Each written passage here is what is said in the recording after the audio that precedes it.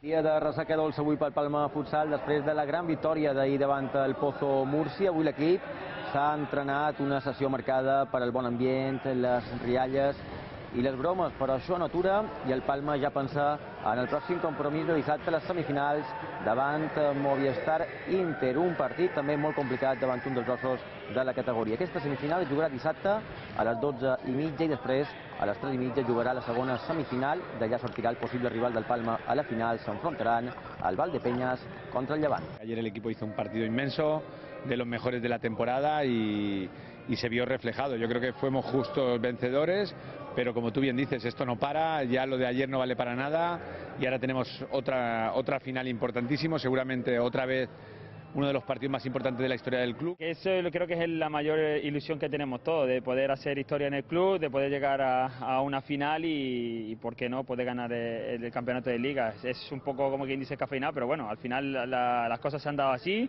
y nosotros hemos tenido ese compromiso para estar a nuestro máximo nivel dentro de nuestras posibilidades y bueno, eh, ojalá podemos, podamos pasar a esa final y poder llevarnos el título, ojalá.